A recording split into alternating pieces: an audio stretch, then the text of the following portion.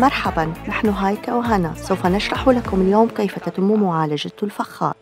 نبدأ مباشرة من منطقة التنقيب ونرى كيف يتم إخراج كسرات الفخار من الأرض وبعد ذلك غسلها. سوف نوضح لكم كيف يمكن تصنيف وفرز الفخار وكيف يتم وضعه بأمان في المخزن.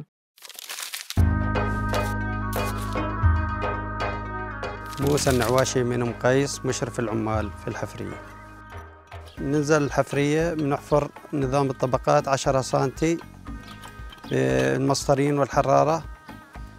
وبنهاية الطبقة بيتم التصوير وبننزل طبقة ثانية.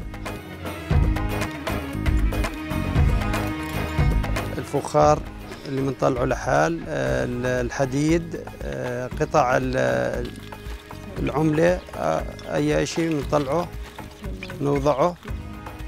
بنعبي الفخار بأكياس ونحط البطاقة فيه ونبعثه للغسيل.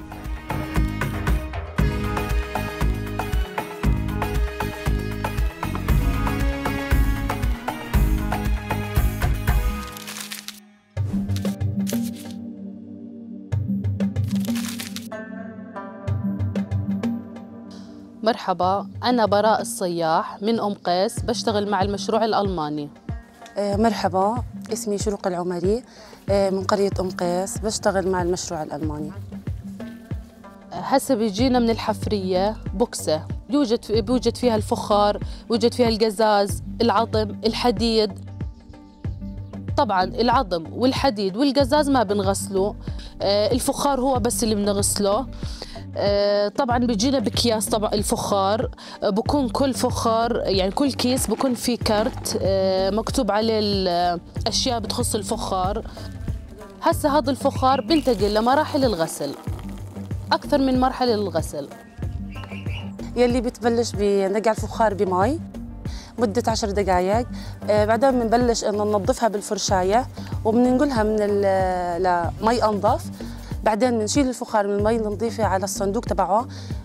بنحط آه، بكل صندوق بطاقته آه، يلي هي مع الكيس الفخار الأصلي يعني. آه، بعدين بتبلش مرحلة تنشيف الفخار.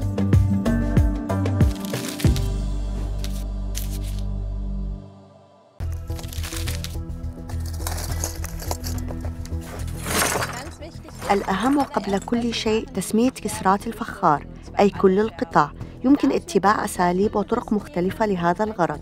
يجب العثور على اختصارات موحدة يمكن تطبيقها على جميع القطع ويتم اتباع نفس الطريقة على جميع المساحات والمقاطع الأخرى في منطقة التنقيب في حالتنا هنا هي أم قيس أوكو بعدها تأتي السنة 2021 لأن هذا هو المكان الذي تم فيه التنقيب. بعد ذلك رقم المنطقة 61 ورقم المقطع 2 وأخيرا موقع اللقيا 53 إذا كان لدينا كسرات من الفخار تحتوي على زخرفة ديكور أو عليها طلاء ملون بالطبع لا نكتب الرقم على الديكور أو الزخرفة لكن نبحث عن مكان غير واضح مثل الداخل هنا. يتم تطبيق هذا الأسلوب على كل كسرات الفخار بغض النظر عما إذا كانت كسرات الفخار من الجدار البدن أو كسرات الفخار التابعة لأجزاء أخرى مثل المقابض والفوهات وذلك لمنع وضع كسرات الفخار في الصندوق الخطأ. أو إذا قمنا بوضعها في خزانة وأراد شخص ما الوصول إليها لاحقا فسيعرف دائما أن كسرة الفخار هذه تعود لهذه الموجودات وليس لأخرى. الآن بعد أن قمنا بتسمية جميع كسرات الفخار قد حان الوقت لفرزها. للقيام بذلك نقوم بالفرز وفقا لمجموعات مقسمة حسب نوع المواد المصنوعة منها أي نوع العجينة. لكي نتمكن من التعرف على قطع الفخار حقا علينا أن نعمل كسرا جديدا. هذا يعني أننا لا ننظر إلى حواف الكسر القديمة أو السطح ولكننا نأخذ كماشة ونعمل ببساطة كسرا على الحافة. ومن ثم يمكن أن نرى بوضوح كيف تم تكوين الطين ولون الطين وما يحتويه من شوائب. لقد قمت للتو بإعداد أربعة أمثلة. لدينا هنا فخار خشن يحتوي على عدد كبير نسبيا من الشوائب والتي يمكنك رؤيتها بالعين المجردة. بالإضافة إلى أن طريقة صنعه وتصنيفه تختلف أيضا عن الأجزاء والقطع الأخرى لأنه مصنوع يدويا. على النقيض من ذلك هناك كسرات الفخار التي تعود إلى أواني الفخار المصنوعة على العجلة أي تكنولوجيا إنتاج مختلفة. يمكن أن نرى بوضوح الألوان المختلفة للكسور الفردية وكذلك الجزيئات الضامرة والهزيلة الممزوجة في الطين. هنا على سبيل المثال هذا اللون البني المحمر أو هذا اللون الوردي للطين. وفقا للمجموعات نقوم أولا بفرز قطع الفخار على الطاولة قبل البدء في الفرز الأكثر تفصيلاً.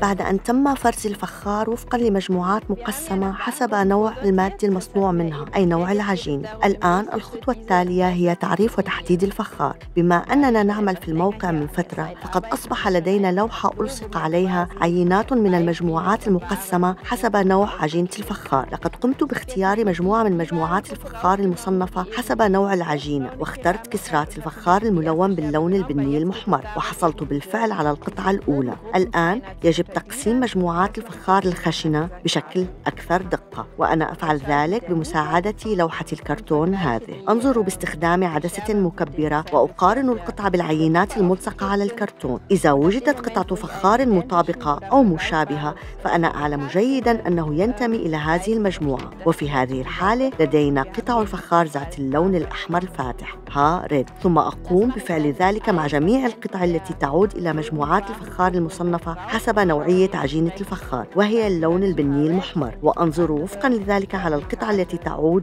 لمجموعة اللون الأحمر الفاتح هارد وفقا لذلك يتم فرزها في النهاية وتدوينها.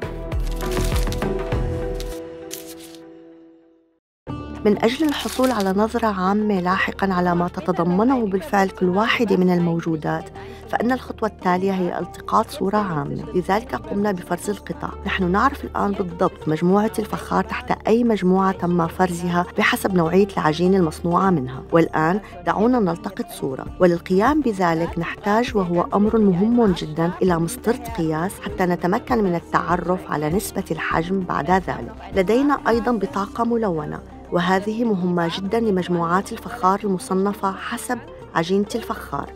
والأهم قائمة اللقى المسجلة حسب السياق الأثري وذلك حتى لا يتم فقدان أي معلومات لاحقا عند فرز الصور. سأقوم الآن بوضع قائمة اللقى والموجودات في المنتصف.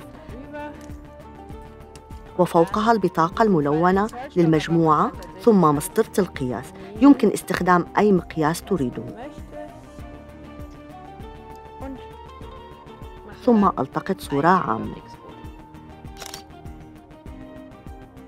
إذا كنت مهتما بأفضل طريقة لالتقاط الصور فقم بإلقاء نظرة على فيلمنا الخاص بتوثيق اللقى الجزء الأول حيث ستجد المزيد من المعلومات التفصيلية. بعد أن قمنا بتصنيف مجموعات الفخار سنبدأ الآن في عرض ما هي الخطوة التالية باستخدام مجموعة واحدة من هذه المجموعات. أولاً نقوم في عد كسرات الفخار التي تعود للجدار البدن وذلك لإجراء تحليل إحصائي. لسوء الحظ لا يمكننا العثور على أي معلومات جديدة. لذلك نواصل العمل مع كسرات الفخار التابعة لأجزاء أخرى مثل الرقبة أو المقبض. نحن نواصل العمل الآن بطريقة مماثلة لطريقة فرز الفخار في مجموعات حسب نوع العجين المصنوع منها. من المهم الآن تحديد طراز أو نموذج الفخار وذلك حتى يتم وصف كل شيء بشكل متماثل. لذلك وكما قمنا بعمل صناديق لمجموعات الفخار المصنفة حسب نوعية عجينة الفخار قمنا أيضا بإنشاء ما يسمى بكتالوج لنماذج الفخار الذي يحتوي على كل نماذج الفخار التي تم العثور عليها في الموقع. لقد وجدنا الآن مجموعة من كسر الفخار من نفس النموذج والطراز ويمكننا الآن تحديدها بشكل أكثر دقة باستخدام كتالوج نماذج الفخار هذا. إذا بروفايل قطعة الفخار هذه متطابقة للرسم الموجود في كتالوج نماذج الفخار بنيت فوهة الفخار نفسها وعالجت جدار الفخار نفسها. هذا يعني أنني حصلت على النموذج المطابق أدونه في استمارة اللقى إذا في هذه الحالة أكتب قطعة فخار من الفوهة. نحن الآن في المجموعة المصنفة حسب نوع عجينة الفخار ها ضف.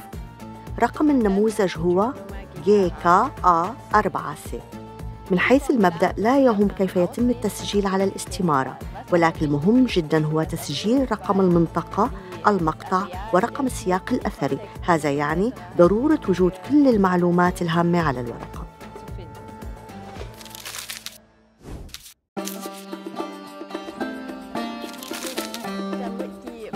كي لا تتكون استمارات اللقى فقط من أرقام وتحليلات إحصائية فحسب بل يمكن أيضا أن ترفق برسومات وصور فوتوغرافية للنشر.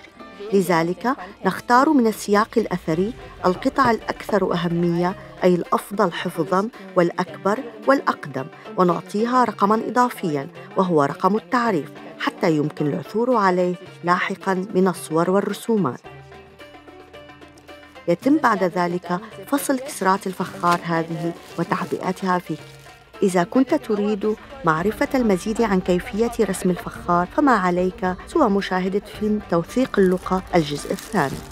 بمجرد الانتهاء من فحص اللقى والموجودات والمقصود هنا كل كسر الفخار التي تم فصلها للرسم والتصوير الفوتوغرافي يجب أن تتم إعادتها إلى الصندوق ونقل كل شيء إلى المستودع وتخزينها هناك.